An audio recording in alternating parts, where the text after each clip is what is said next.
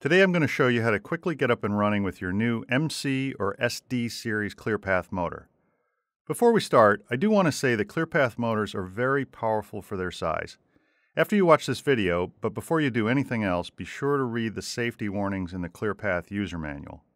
Also, please use this video to supplement the manual, not to replace reading it. There is a lot of important and helpful information in the manual. Okay, the best way to start is with just the motor, not connected to any mechanics although you do want to make sure the motor is secure. This way you can get familiar with the software and wiring without having to worry about the mechanics just yet. First we'll connect power. If you bought a Teknic IPC-3 or IPC-5 power supply and cable, connecting power to your NEMA 23 or 34 size ClearPath is very easy. Just plug and play. If you have a third-party power supply, make sure you read the user manual section on selecting a DC bus power supply. At a minimum, the bus power voltage has to be between 24 and 75 volts.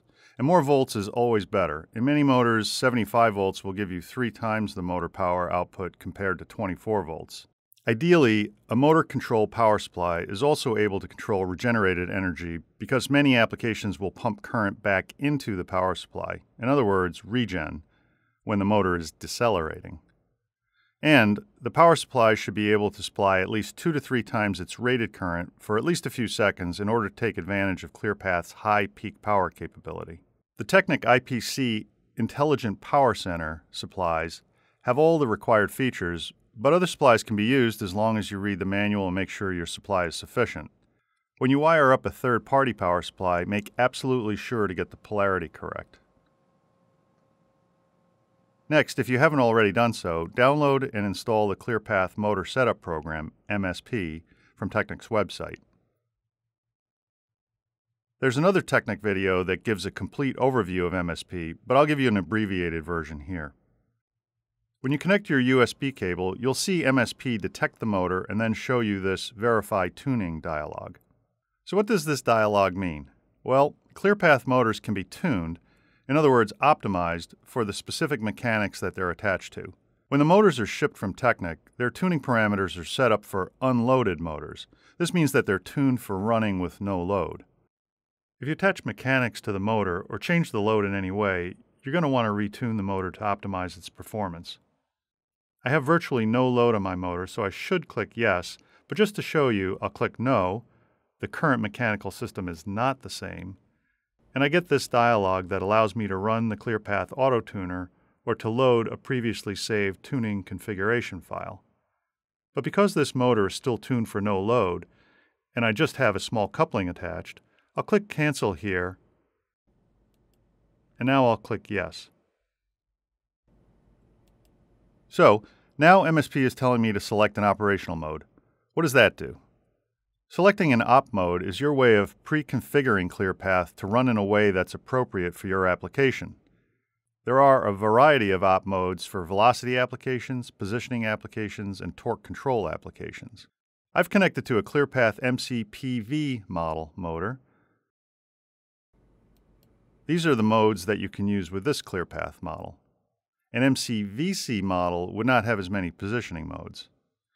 And the SD series motors only have one mode, step and direction, although technically they can take quadrature input as well as step and direction. As an aside, the third ClearPath series, ClearPath SC, runs using C++ software and doesn't have op modes per se. And you configure SC series motors using Teknic's Clearview software, not MSP. When you select a particular op mode, MSP will only show you the motor parameters that are relevant to that op mode, this makes your user interface much simpler and easier to use. I'll choose Ramp Up Down to Selected Velocity for this tutorial. This dialog, which appears when you select any mode, gives you a summary of the mode along with some helpful hints.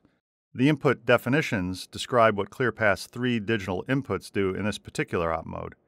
Here, the enable input simply energizes the motor and the A and B inputs taken as a pair can be set to one of four possible digital states to select one of four possible velocities. Clicking OK takes me to the op mode setup page. This page is different for each op mode, but they're all pretty self-explanatory. This upper section contains the settings for the mode. The lower section shows the state of the motor, the digital inputs, the configurable status output, and the velocity. And it also allows you to override the hardware inputs to test out the motor before having to make any electrical connections. You also see some other real-time motor information. Let's see how that works. I'll click on Override Inputs and then enable the motor. Hmm, why don't I get any motion? Well, my inputs A and B are both off, which corresponds to my number one speed setting, which is 0 RPM. In fact, all four motor speeds are set to 0 right now. So the motor is doing what it's set up to do, run at 0 RPM.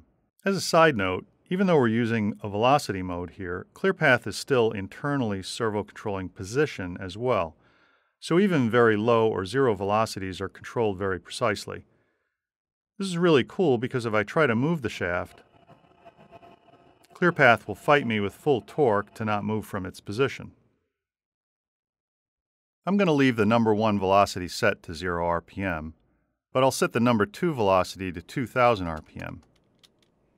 While I'm at it, I'm also going to set my acceleration and deceleration values. These determine how quickly the motor will increase and decrease from one speed to another. So for example, if I want to accelerate from 0 to 2000 RPM in half a second, I can set the acceleration to 4000 RPM per second. If I want to decelerate from 2000 RPM to 0 in, say, 2 seconds, I should set my deceleration to 1000 RPM per second. Let's see how that works. The number 2 velocity is selected by turning on the A input while leaving the B input off. It should take half a second to get to 2000 RPM. Now, if I turn off input A, we should go back to the number one velocity of 0 RPM in 2 seconds. So, how do I make the motor go in the opposite direction? It's simple. Just enter a negative velocity. Let's make a really slow move in the opposite direction. I'll enter minus 1 RPM for velocity number 3.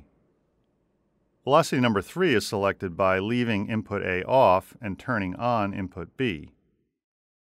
Now the motor shaft is spinning in the opposite direction at 1 RPM. So there you go. You're up and running. Your next steps are to mount your motor to your mechanical system, use the auto tuner to optimize the servo to your mechanical system, Use the software override feature again to verify all the mechanics are working well. And finally, you will wire up your own control signals.